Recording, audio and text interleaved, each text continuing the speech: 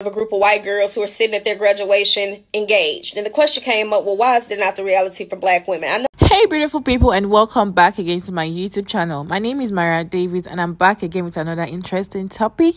So, this particular black woman was dragged for asking this question. She was giving white people standard for black community. I'm gonna go ahead and play the full video, then come back and talk about it. a group of white girls who are sitting at their graduation engaged. And the question came up, well, why is there not the reality for black women? I know y'all not gonna like what I gotta say, but you know me, I'm gonna say it anyways. First and foremost, black women are above reproach. If it don't validate us or excuse our bad behavior, we don't want to hear. Instead, we'll say, well, men do it too. Secondly, we'll find every excuse in the world to validate why we don't want to be married or why we don't want to be in a relationship. Well, they get cheated on. Well, they do this. Well, they do that. But then we have all these standards for men, and we're still actively seeking for men in the midst of our hurt while inadvertently telling them to go to therapy. We do not practice what we preach.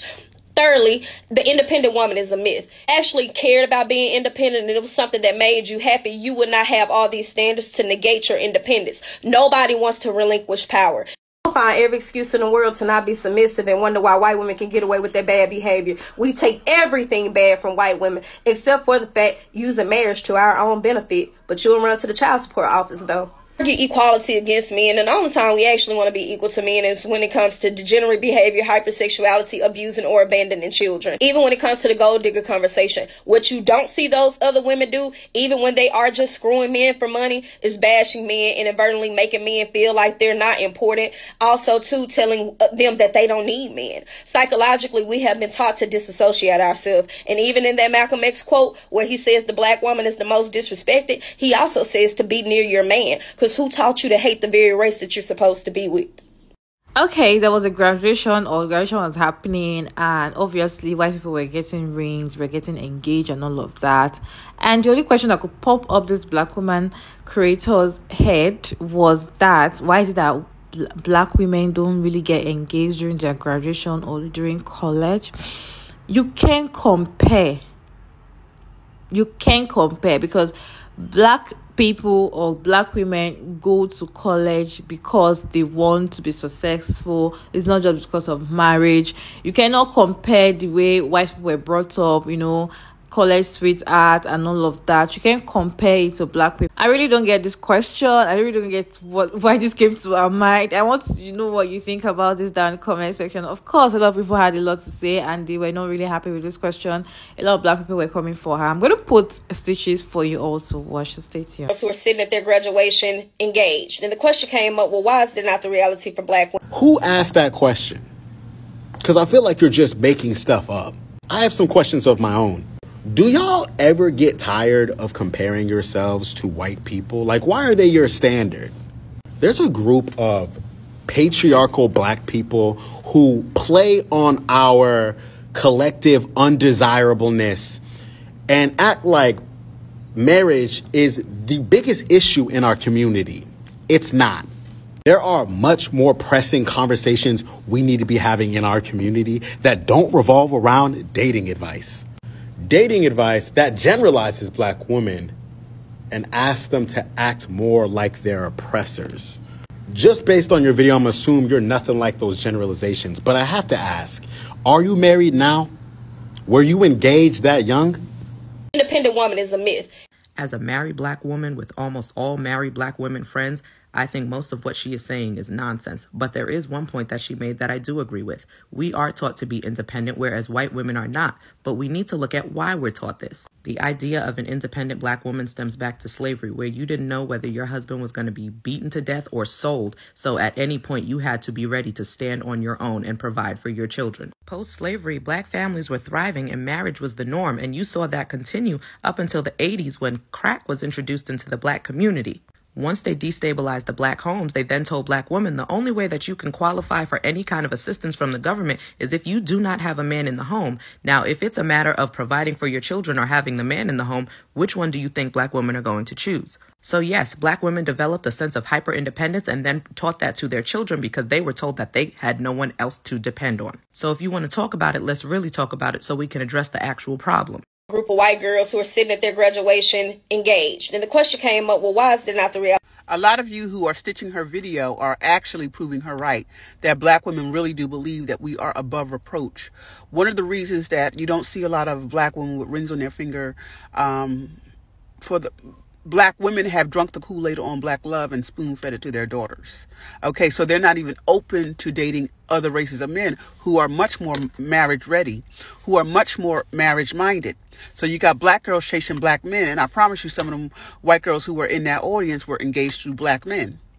And then at the HBCU level, the, the numbers are not even there. The men are not even there to have uh, quite a few young ladies with rings on their finger you know, and black men generally are not trying to get married that young. And that's where I think some of the pushback is because you know it's not just about our attitudes. You know it's not just about us being headstrong. No, there's layers to this. There's layers to this. Group of white girls who are sitting at their graduation engaged. And the question came up well, why is there not the reality? Why are you minding white women's business? See, when they insert themselves into our business, we quick to check them. Now, I'm not going to play that double standard shit. Mind your business. Stay out of white women's business. Okay? They're men. And what they do with their men and why they choose to marry their men at a certain time is their white business. We got too much shit going on in our community because our black men don't want to get their mental health together. And you up here comparing us to them. Worry about your own black business. And I can assure you, most black women that got married out of high school or college are divorced now because our men have mommy issues and they're going through a mental health crisis.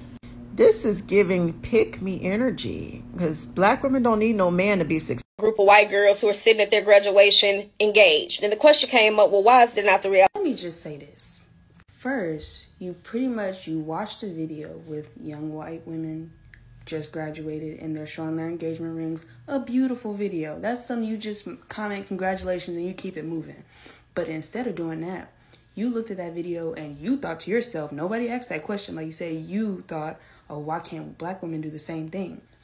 But then you said, then you hit us with pretty much every non married man, non married man podcaster and took what they said and been like, see, this is why we can't do that. You talked about submission, you talked about bashing men, you talked about using men and child support offices and all this stuff as if white women aren't baby mothers. White women don't go to child support offices as well.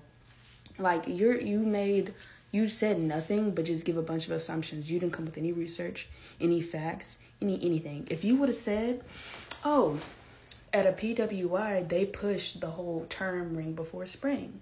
So th- since that's pushed, and it's probably pushed more in their community to be married, that's why they're married. So if you would have been like, oh, we should fix this, guys, as black people, men and women, we should push marriage more on our sons, sons and daughters. We should push married uh, marriage more in our education system, especially in college. They're at that age, they're about to, you know, start having, you know, intercourse a lot more we should push marriage. I would have been on board with the video. That's a great thing to encourage young black people to do, young people in general.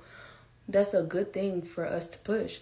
But you came to the video and basically said black men don't want to marry us because we're not as submissive as white women. There's plenty of black couples, black married couples. My parents being one of them, my grandparents on my mother's side being another one, my grandparents on my dad's side being another one. That's three married couples Two of those couples been married for over 50 years. And in young people, there's plenty of young married couples, and I'm around them every day. So, what is your video actually about? I feel like there's a lot of projection going on. Since you are a black woman, you seem to be kind of young, I don't know, maybe 30 something, with no ring, um, saying what black women need to be doing in order to get engaged. But yeah, you know what I'm saying? You don't have one. So, it's like, it's kind of something's blocking your message a little bit and i think it's the internalized misogyny and it's the projection that you're putting through your video that's oh so obvious. So maybe you should do some other research and then take the advice from the research that you get so you can get engaged because i think that's what you really want. Group of white girls who are sitting at their graduation engaged and the question came up well why is there not the reality thank you for sharing. Thank you I don't know what I'm supposed to do with this, but thank you for sharing. Why are all these young black women on this app trying to give all this old ass, crusty, dusty, um, judgmental, bitter ass auntie advice to other black women. What what is what what's going on? What's happening? Who's the intended audience for something like that? Like I know it's not me, but who who's are we supposed to be motivated by this? Am I supposed to be like, oh my god, let me get my life together? Like who what what are we what are we supposed to do with this?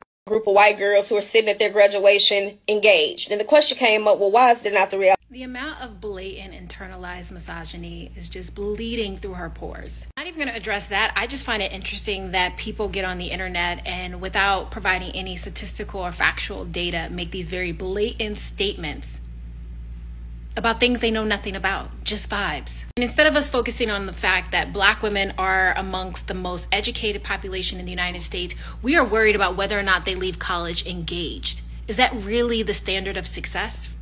And although divorce rates are on a 40 year low, we still have the third highest rate of divorce in the world. And I also find it interesting that at no point we are talking about whether or not any of these women are actually happy that should be the standard of success. Are people happy with the decisions they've made versus the standard of success the society has told us we have to achieve in order to be successful? Make it make sense. Exactly. Success is based on are you happy with what you have? Is this what you want? That's based on success. If you're saying going to college and you have to get ring and that shows that you went to college successful, is that really reason why people go to college or go to college for studies not to get married not to yes you might meet people meet friends and everything but that's not actually the main cause of going to to college or going to college to study to further your education. I don't, I don't really get the question. I don't really get where she's coming from. I don't really get where she's going. She doesn't just like totally make sense to me. I'd like to know what you guys think down in the comment section. I'd like to your opinion. I want to know what you think down in the comment section. And thank you so much for sticking around to this point. My name is Maria Davids. I said earlier. Don't forget to like, subscribe, and I'll see you in